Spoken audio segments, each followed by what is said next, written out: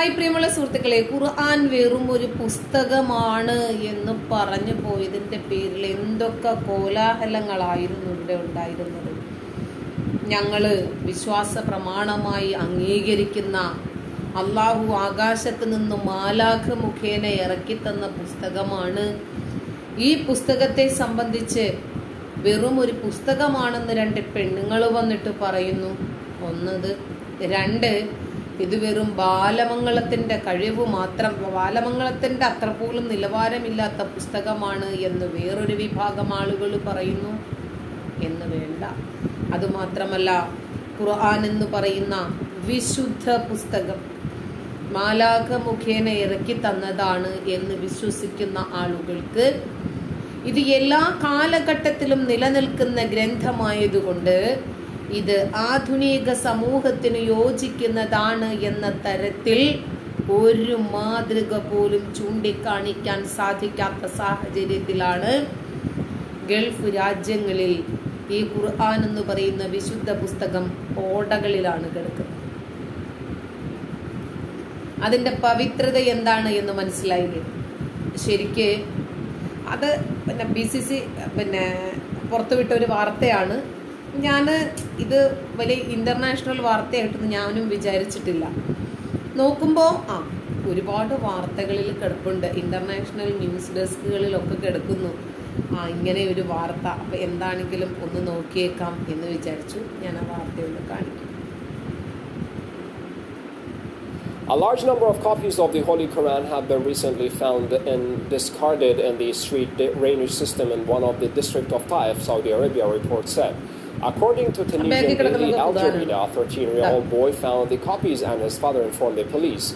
Footage of the copies of the Quran found in street drains was broadcast on NBC satellite network, sparking anger among viewers. This is not the first time desecration of the Quran happens in Saudi Arabia. In 2013, Quran copies were found in the sewage system in Taif. Later that year, insulting the holy book by prison officials in Al Har province led to protests in different parts of the country. In 2014, a Saudi citizen found torn copies of the Islamic holy book in garbage cans again in the city of Taif. അധികം താമസിയാതെ തലയ്ക്കകത്താള് താമസമുള്ള ആളുകൾ ഈ ഖുർആൻ എന്താണെന്നും ഇതിനകത്തുള്ള വസ്തുതകൾ എന്താണെന്നും മനസ്സിലാക്കി ഈ മതം ഉപേക്ഷിക്കും എന്നതിൽ യാതൊരു തർക്കവുമില്ല.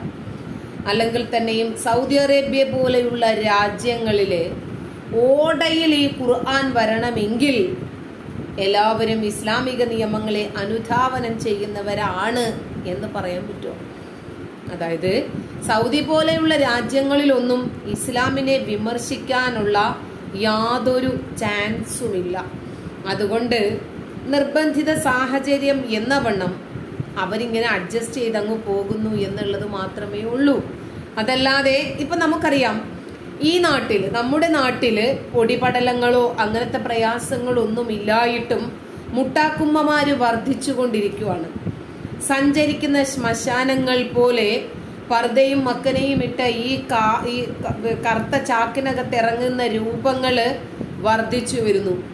കണ്ണ് മുഖം മുഴുവനും മൂടി കണ്ണിനകത്തെങ്ങാനും ഇനിയും ഒരു ലെൻസ് ഇടാൻ പറ്റുമോ എന്ന് ആലോചിച്ചു കൊണ്ടിരിക്കുവാണ് നമ്മുടെ നാട്ടിലുള്ള ആളുകൾ.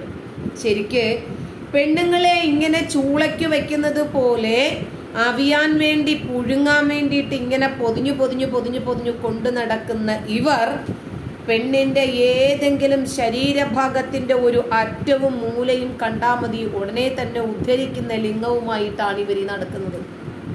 അതുകൊണ്ടാണല്ലോ സ്വന്തം കുഞ്ഞുങ്ങൾക്ക് പോലും ഇവരുടെ കണ്ണിൽ രക്ഷയില്ല. ഇതെന്റെ കുഞ്ഞാണ്. എന്റെ കരങ്ങൾ കൊണ്ട് ഞാൻ അവരെ സംരക്ഷിക്കേണ്ടവരാണ്.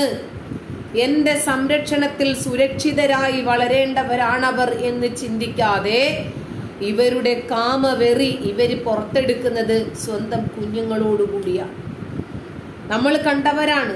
സ്വന്തം കുഞ്ഞിനെ അഞ്ചു മാസം ഗർഭിണിയാക്കിയ മുഹമ്മദ് റാഫി എന്ന് പറയുന്ന ഉസ്താദ് കേരളത്തിന് പുറത്തുള്ള ആളായിരുന്നില്ല. മലപ്പുറം ജില്ലയിലെ മഞ്ചേരിക്കടുത്ത് വഴിക്കടവെന്ന് പറയുന്ന സ്ഥലത്തുള്ള ആളായിരുന്നു.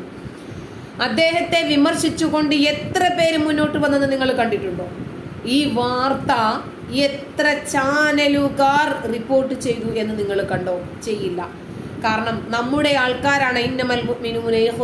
വിശ്വാസികൾ പരസ്പരം സഹോദരങ്ങളാണ് അതുകൊണ്ട് തന്നെ അവരുടെ ഭാഗത്ത് നിന്ന് എന്തെങ്കിലും ഒരു അരുതായ്മയുണ്ടായാൽ നമ്മൾ ആ ന്യൂനത മറച്ചു വെക്കണം എന്നാൽ പരലോകത്ത് അള്ളാഹു നമ്മുടെ ന്യൂനത മറച്ചു വെക്കുമെന്ന് പ്രവാചകൻ പഠിപ്പിച്ചതിന്റെ അടിസ്ഥാനത്തിൽ വിശ്വാസികൾ പരസ്പരം അവരുടെ ന്യൂനതകൾ അവർ ഒളിപ്പിച്ചു വെക്കാറാണ് പതിവ് അഞ്ചു മാസം ഗർഭിണിയായ സ്വന്തം മകൾ മകളും വിളിക്കണം ഇയാളെ വാപ്പാന്ന്. മകളുടെ വയറ്റിൽ വളരുന്ന കുരുന്നും വിളിക്കണം ഇയാളെ വാപ്പാന്ന്. എങ്ങനെയുണ്ട്?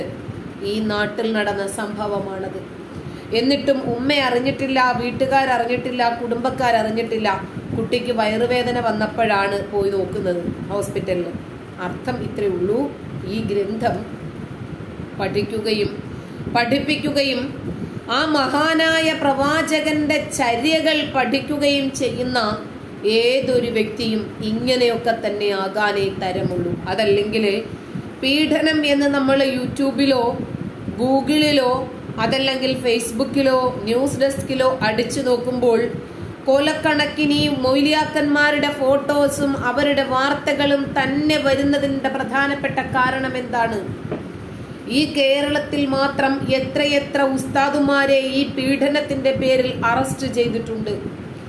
പ്രകൃതി വിരുദ്ധ ലൈംഗികത ലൈംഗികതയ്ക്ക് എത്ര ഉസ്താദുമാരെ അറസ്റ്റ് ചെയ്തിട്ടുണ്ട്? എന്തുകൊണ്ടാണ് ഇവറ്റകൾക്ക് അമ്മയെയും പെങ്ങളെയും തിരിച്ചറിയാൻ സാധിക്കാതെ പോകുന്നത്? ഇവർ കള്ളു കുടിച്ചിട്ടാണോ? കഞ്ചാവടിച്ചിട്ടാണോ വില കൂടിയ മയക്കുമരുന്ന് ഉപയോഗിക്കുന്നത് കൊണ്ടാണോ? എന്തുകൊണ്ടാണ് മുന്നിൽ നിൽക്കുന്നത് ഞാൻ വിവരം പറഞ്ഞു കൊടുക്കേണ്ടുന്ന സംസ്കാരം ഊട്ടിയുറപ്പിക്കേണ്ടുന്ന എന്റെ കുഞ്ഞുങ്ങളാണ്?